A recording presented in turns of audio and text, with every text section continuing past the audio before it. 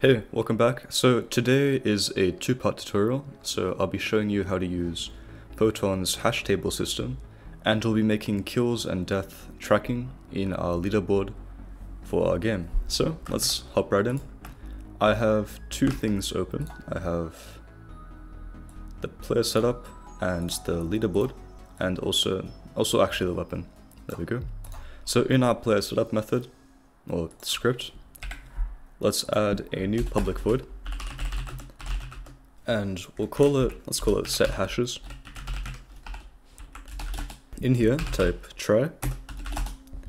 And then below it let's type catch. Cool. In this try thing here we'll type hash table. Hash equals photon network dot local player the custom properties. Now we get this error right here. So let's add some stuff up here. So we'll type using hash table oh, equals exit games dot clients dot photon dot hash table so what this means is that when we say hash table here, it's using the photon hash table, which is what we want. Now we want to add properties to this hash table that we want to store for our player. So let's go to our room manager script. And since our player dies multiple times, we want to store stuff like the kills and deaths actually in the room manager script for our hash table to sync. So we'll add a public int kills and we'll set it equal to zero and a public int deaths and we'll also set it to zero. Now we want this to be accessible by the player setup but not show up in the inspector. So what we can do is we can add the hide in inspector tag to both of these like so.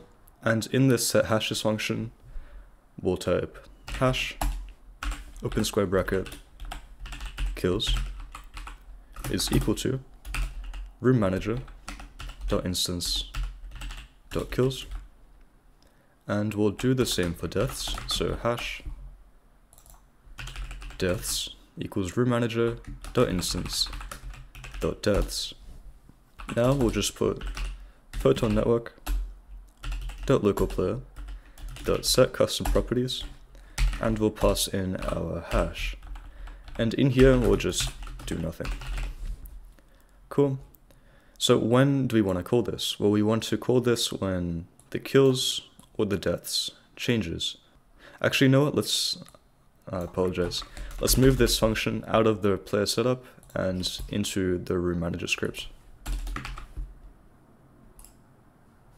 And we'll, we'll copy this as well to the very top. And we can remove the room manager.instance stuff here. Just for optimization. As so. Okay, perfect. So the set hashes is now in our room manager, not in the player setup. And we have this up here. Cool. So now we want to call this on kills and on deaths. So um, let's go to our weapon script. And in this kill bit here that we set up in the last video, let's put room manager dot instance dot kills plus plus which increases it by one. And then we'll put room manager dot instance dot set hashes. And then for our deaths we'll go into the health script. And in our take damage function under if health is less than or equal to zero let's just copy and paste this thing here. Instead we'll increase deaths by one and set the hashes. Okay, so we made two mistakes. The first one is last video when we checked if damage is equal is greater than the health left, we want this to be greater or equal to because this only checks if the health would go into the negatives, but in most cases, with our damage being 25 for example, it would actually only go to 0, which this wouldn't cover. So this will give us the kill points, now the next mistake we made is, or the make mistake I made, um, my bad, is in this health function, this function is actually synced over the network, which we don't want. So we want to add the deaths score only on the local player, not on all players.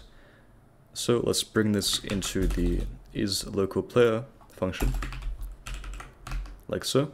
Now you could test this and it would work, but you wouldn't know because right now we have no way of visualizing or seeing stuff like the kills and deaths at the moment. So let's add that to our leaderboard. Under each player, let's um, duplicate the score. And we'll make this, we'll just rename this to KD. Center it.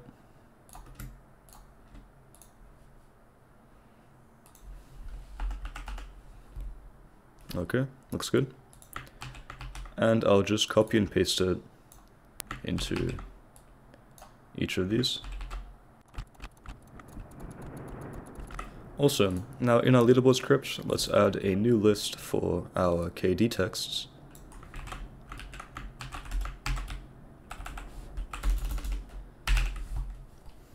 Cool, and let's just assign that real quick.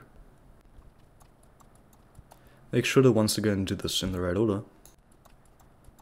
So now let's set this up in our leaderboard script. So in here, we'll do if player the custom properties and we'll look for our kills is not equal to null.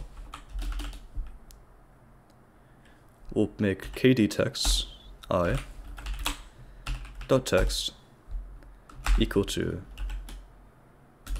player dot custom properties. Kills. Plus plus slash plus player dot custom properties. Deaths. Now the reason we're not checking that deaths is equal to null is because we set both of them at the same time. So if kills is not null, then we know for a fact that deaths is also set to something whether it be 0 or 1 or 2. And then else, we'll just set kd text i dot text equal to 0, 0. And this should be it. So let's just disable the players holder and let's test. Alright, so we're in a game. Let's test this out. We both start on 0, 0 kills, 0 deaths. Let me kill Alex.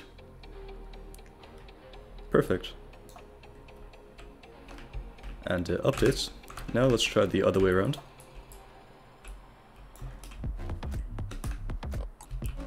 And this works flawlessly. Awesome. I really hope you enjoyed this one. This one, I love making this one. Um, subscribe if you want to see more. Take care.